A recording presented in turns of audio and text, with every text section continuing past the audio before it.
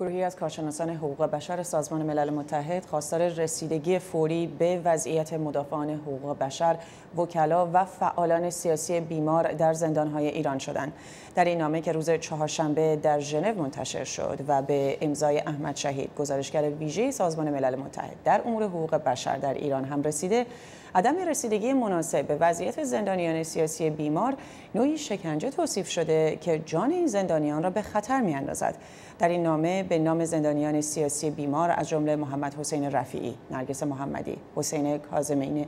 کاظمی بروجردی، حسین رونقی ملکی، عبدالفتاح سلطانی، کمال فروغی و امید کوکبی اشاره شده. کارشناسان حقوق بشر سازمان ملل متحد خواستار احترام مقام‌های ایران به قوانین بین المللی و قوانین داخلی ایران در مورد زندانیان بیمار شدند.